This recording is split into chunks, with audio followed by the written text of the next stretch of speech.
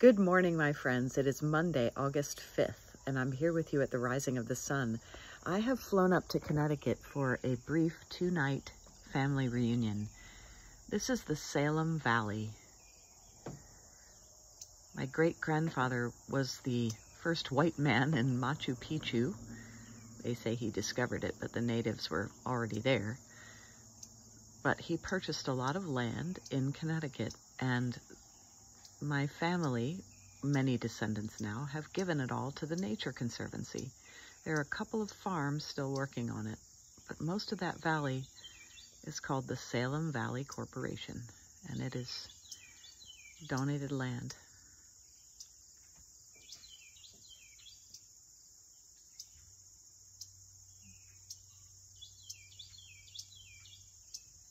And it is so beautiful. I looked at this view all during my childhood in the summers. We are moving into the book of Judges this morning, back to the 7th and 6th century BC, where we encounter a young man named Gideon. Now, the people of Israel at the time are being oppressed by the Midianites, and they think that God has abandoned them. But God appears to Gideon and says to Gideon, I want you to sacrifice your father's second bull and tear down the altar of Baal and put up a pole to thank, give thanks to me. So Gideon does this. And then Gideon is still not sure that God is with him, so he puts a fleece, some wool of a sheep, on the ground and says, Lord, please put dew on the fleece, but not on the ground around it, and I'll know you're listening to me. And God does that. And it says there's so much dew on the fleece that he could wring a bowl, wring it out and fill a bowl of water. And then he says, one more test, God, just please, one more. I'm just a little nervous. Could you now do the opposite? So put the dew all around the fleece, but not on it. Let the fleece be dry. And the next day, God does just that. So Gideon knows that God is with him.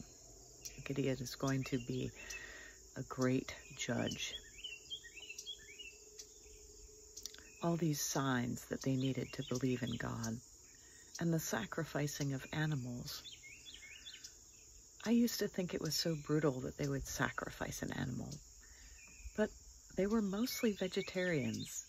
They rarely ate meat, and when they did, they would make a big sacrifice to God and an altar, and then they would carefully distribute every single piece of this this animal, burning some of it for God, but giving pieces of meat, uh, some of them cooked, some uncooked, to people and distributing the wealth. It was a very reverential way of being carnivorous.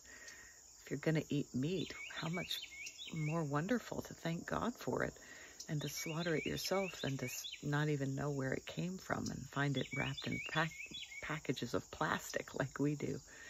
So Gideon sacrificed a whole bull. He didn't tell his dad, by the way. It was one of two bulls, so that was a big deal. But he did it as an act of thanksgiving.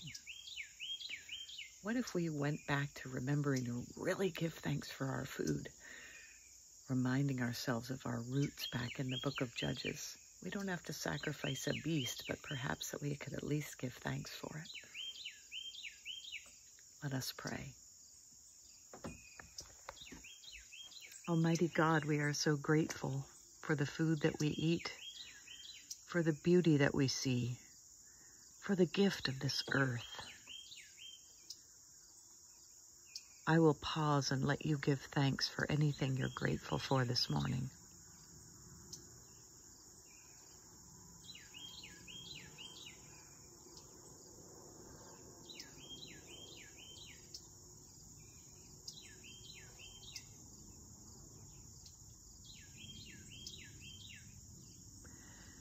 We ask you, Lord, to bless the sick and the suffering and those who mourn and grieve, those who are addicted or mentally ill or struggling in any way. I will pause and let you speak aloud the people who need prayer in your life.